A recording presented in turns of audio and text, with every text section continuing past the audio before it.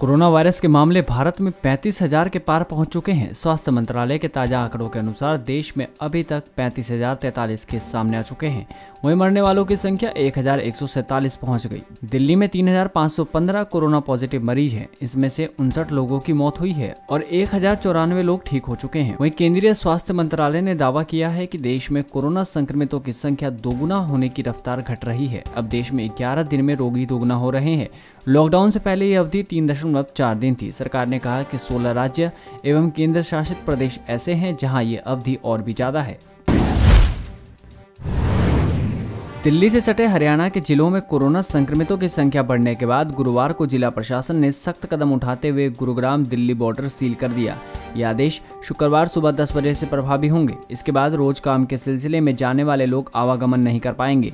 आदेश में कहा गया है कि गुरुग्राम में जो लोग काम कर रहे हैं, लेकिन वो यहाँ के निवासी नहीं हैं। उनके लिए प्रबंधन गुरुग्राम में रहने की व्यवस्था करे। जो गुरुग्राम वासी बाहर काम करते हैं, वे लोग अपने प्रबंधन से वहीं पर आवास की व्यवस्था करवाएँ। सोनीपत और फरीदाबाद बॉर्डर पहले से ही सील है। आदेश के मुताबिक सरकारी कार्यालयों के अधिकृत अधिकारी व कर्मचारी, प्रधानमंत्री कार्यालय, केंद्रीय गृह मंत्रालय, वित्त, रक्षा, डाक विभाग, आपदा प्रबंधन और प्रारंभिक चेतावनी देने वाली एजेंसियाँ, राष्ट्रीय सूचना विज्ञान केंद्र, भारतीय खाद्य निगम के अधिकारियों व कर्मचारियों को अपना वैध पहचान पत्र दिखाने पर सीमा पार आवागमन की पहले की तरह अनुमति रहेगी।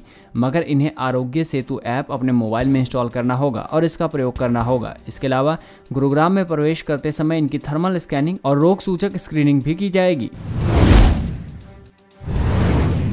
नॉर्थ कोरिया के तानाशाह किम जोंग उन कहाँ हैं? उनकी सेहत कैसी है? बीमार हैं या उनकी मौत हो गई या फिर ब्रेन डेड है? बीते कुछ दिनों से दुनिया इन सवालों के जवाब जानने की कोशिश में जुटी है। किम जोंग उनकी सेहत को लेकर बरकरार रहस्य पर संयुक्त राष्ट्र प्रमुख एंटीनियो गुटरेस की प्रतिक्रिया आई है। संयुक्त राष्ट्र महासचिव ने गुरुवार को कहा कि उन्हें किम जोंग उनके स्वास्थ्य के बारे में कोई जानकारी नहीं है और न ही उनके ठिकाने के बारे में। वर्चुअल प्रेस ब्रीफिंग के दौरान जब उनसे पूछा गया कि क्या संयुक्त राष्ट्र के किसी अधिकारी ने उत्तर कोरिया के किसी अधिकारी से किम जोंग उनके स्वास्थ्य और उनके ठिकाने के बारे में बात की है तो संयुक्त राष्ट्र महासचिव ने कहा कि मुझे किम जोंग उनकी किसी भी स्थिति के बारे में कोई जानकारी नहीं है। बता दें कि ऐसी अपुष्ट सूचना है कि किम जोंग उनकी सेहत ठीक नहीं है और सर्जरी के बाद वो गंभीर स्थिति से जूझ रहे हैं। किम जोंग उनकी सेहत को लेकर काफ़ी दिनों से अटकलों का बाज़ार गर्म है। कभी उनकी मौत की अटकलें लगाई जा रही हैं तो कभी ब्रेन डेड की। तो कभी ऐसा कहा जा रहा है कि वो ज़िंदगी और मौत से जूझ रहे हैं। हालाँकि इन अटकलों पर नॉर्थ कोरिया की ओर से ना तो कोई खंडन आया है और ना ही सफ़ाई। कोरोना वायरस को लेकर देश भर में लॉकडाउन जारी है और कई तरह की पाबंदियाँ लागू है। लॉकडाउन की वजह से ही पूरे देश में शराब की दुकानें भी बंद है। इस बीच राजस्थान के कोटा के सांगोद विधानसभा सीट से कांग्रेस विधायक भरत सिंह कुंदनपुर ने मुख्यमंत्री अशोक गहलोत को पत्र लिखकर शराब की दुकानें खोलने की अपील की है। कांग्रेस विधायक ने इसके लिए दलील दी है कि शराब पीने से वायरस खत्म हो जाएगा। दरअसल कांग्रेस के विधायक भरत सिंह कुंदनपुर ने गहलोत सरकार को पत्र लिखकर शराब की दुकान खोलने की मांग की है। उन्होंने अपने पत्र में लिखा है कि जब कोरोना वायरस शराब से हाथ धोने से साफ़ हो सकता है तो शराब पीने से, पीने वाले के गले से भी वायरस खत्म हो सकता है।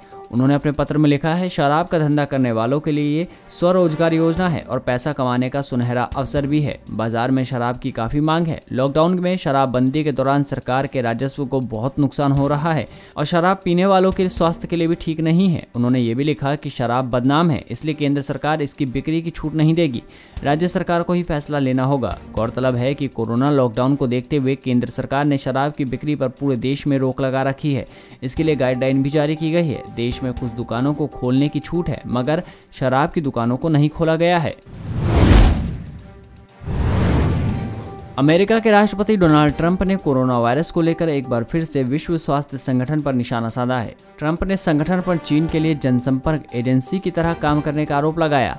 डोनाल्ड ट्रंप से जब पूछा गया कि क्या उन्होंने ऐसा कुछ भी देखा है, जिससे पता चलता है कि चीन के वुहान इंस्टीट्यूट ऑफ़ वायरोलॉजी से ही कोरोना वायरस की शुरुआत हुई है तो उन्होंने कहा कि हाँ मैंने देखा है। ट्रंप ने कहा, मुझे लगता है कि विश्व स्वास्थ्य संगठन को शर्म आनी चाहिए, क्योंकि वो चीन के लिए एक पीआर एजेंसी की तरह है। बता दें कि कोरोना वायरस को लेकर डब्ल्यूएचओ पर हमलावर रहे राष्ट्रपति डोनाल्ड ट्रंप ने इस महीने की शुरुआत में अमेरिका से एजेंसी को मिलने वाली फंडिंग को ये कहते हुए रोक दिया था कि डब्ल्यूएचओ समय पर और महामारी से जुड़ी जानकारी साझा करने में विफल रहा है। इसके बाद अमेरिका में विदेश मामलों पर यूएस हाउस कमेटी ने विश्व स्वास्थ्य संगठन की फंडिंग को रोकने वाले ट्रंप प्रशासन के निर्णय की जाँच शुरू कर दी।